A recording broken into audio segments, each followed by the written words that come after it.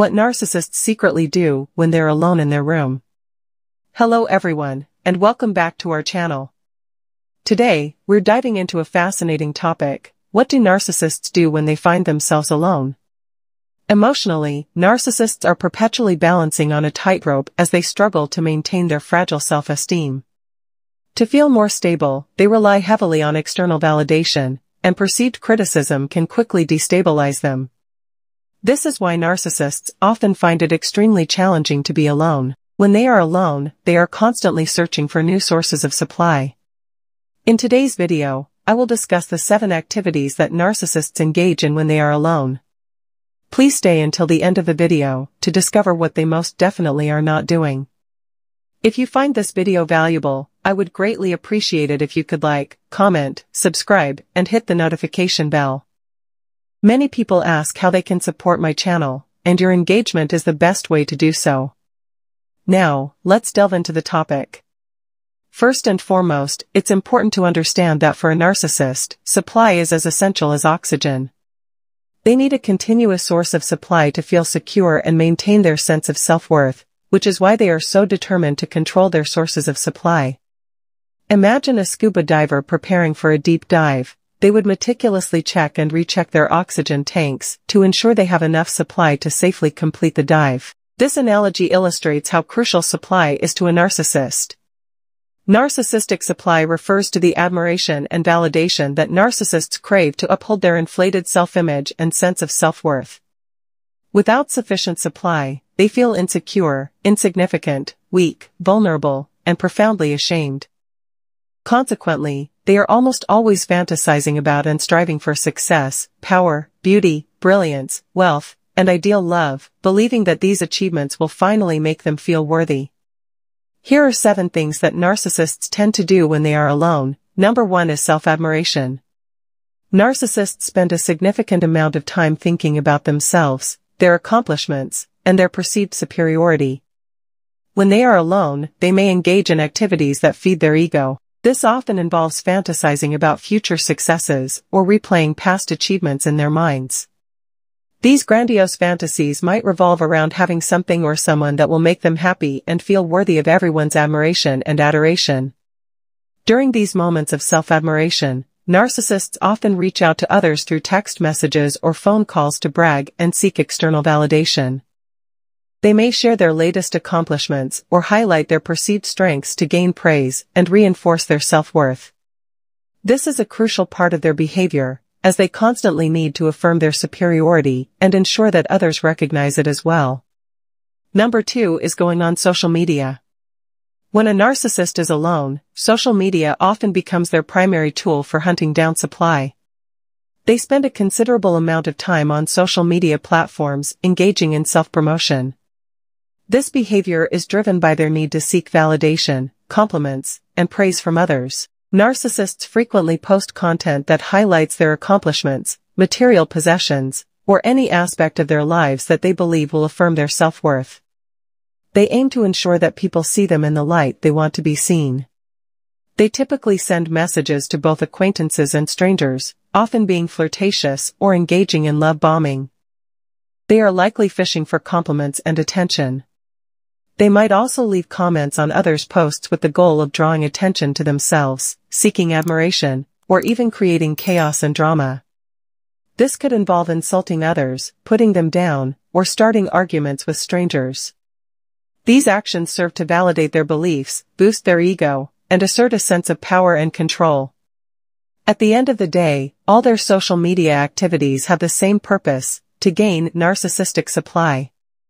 However, social media can be a double-edged sword for narcissists. While it provides a platform for seeking validation, it also fuels their insecurities. They can become very envious when they see others showcasing seemingly perfect lives, which can heighten their feelings of inadequacy and jealousy. Number 3 is planning and scheming. When alone, narcissists often spend a considerable amount of time meticulously planning and scheming ways to manipulate others. This behavior is driven by their need to maintain control and uphold their image of superiority. They strategize on how to exploit vulnerabilities in their relationships, gain sympathy or empathy, or even plan revenge on those they perceive have wronged them in some way. Planning and scheming allow them to orchestrate situations that fulfill their need for attention, admiration, validation, and power, often at the expense of others' well-being. For instance, consider a scenario where a narcissist is invited to a party and wants to make a significant impression. They might spend an extensive amount of time beforehand planning their entrance and interactions to ensure they stand out and receive a lot of attention and admiration. This planning can involve meticulous details, such as choosing the perfect outfit, makeup, and accessories, often changing multiple times before settling on the final look. They will also strategize their conversations to appear more intelligent, witty, and successful. In addition to crafting their image, narcissists might also plan potential ways to create drama, chaos, conflict, and excitement to remain the center of attention. This could involve telling extravagant stories or engaging in other attention-seeking behaviors. They may anticipate potential challenges to their dominance or spotlight and strategize subtle ways to undermine or discredit others through dismissive remarks or passive-aggressive behavior. The overarching goal is to maximize their supply of admiration and validation. If any part of their plan fails, narcissists may experience intense feelings of shame, leading to impulsive, erratic, and often abusive or rageful behaviors. This reaction stems from their inability to cope with the perceived threat to their self-image and superiority. Number 4 is that narcissists ruminate when they are alone. When narcissists are by themselves, they often engage in rumination. This means they replay conversations or interactions in their minds repetitively, focusing selectively on aspects that reinforce their self-image as superior, successful, or admired. For example, they might dwell on compliments they received, moments where they asserted their dominance or control, or situations where they were the center of attention. By replaying these interactions, they seek to bolster their ego and maintain their inflated sense of self-importance. However, rumination is not always positive for narcissists. Sometimes, they fixate on perceived slights or criticisms during these mental replays.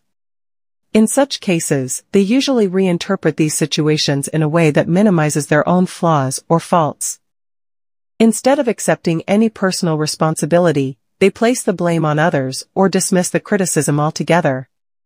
This mental process helps them protect their self-esteem and avoid facing their own shortcomings. Number 5 is they triangulate by text. When a narcissist is alone, they often use their phone to create conflict, chaos, and competition among others.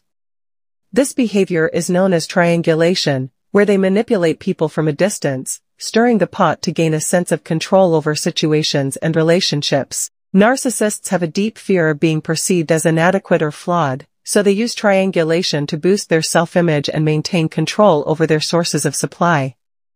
Triangulation involves bringing third parties into a relationship dynamic, typically by comparing or contrasting one person with another. For instance, a narcissist might text one friend about another, highlighting one person's faults or praising another's virtues to create jealousy or insecurity. This tactic is used to isolate and gaslight others by sowing seeds of doubt and division. By creating conflict and competition among people, the narcissist makes them more susceptible to manipulation. This way, the narcissist can maintain their dominance and control over their social circle. Number 6 is reckless or impulsive behaviors. When left alone with their thoughts, a narcissist often feels a deep sense of shame. To cope with these uncomfortable feelings, they frequently engage in activities that offer instant gratification. These activities might include substance use, excessive shopping, or reckless sexual behaviors.